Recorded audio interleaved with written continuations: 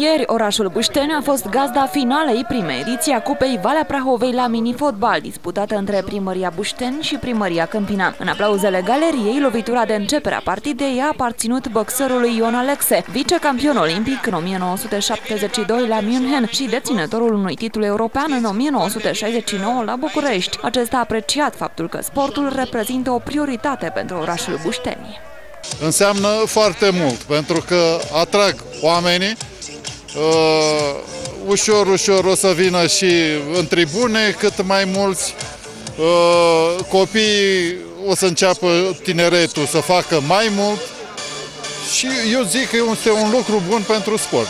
Meciul dintre cele două echipe s-a terminat cu scorul de 12 la 6 în favoarea echipei din Bușteni. Chiar dacă au fost învinși, fotbaliștii din Câmpina au promis că la ediția viitoare își vor lua revanșa. Total Mirel, Savin,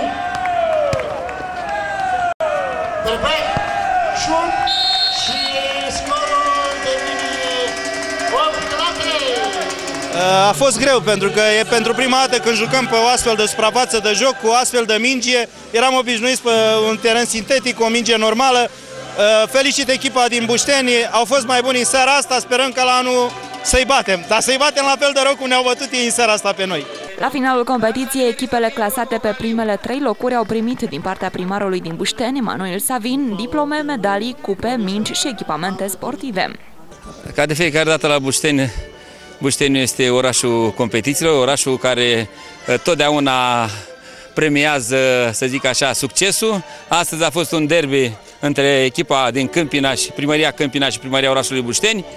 Eh, scorul a fost, să zic, eh, lejer în favoarea primăriei în orașul nostru, dar felicit echipa de la Primăria Câmpina pentru devotamentul, pentru efortul depus și pentru organizarea împreună cu Primăria Orașului Bușteni acestei competiții. Finalul evenimentului a fost marcat cu un foc de artificii și o baie de șampanie.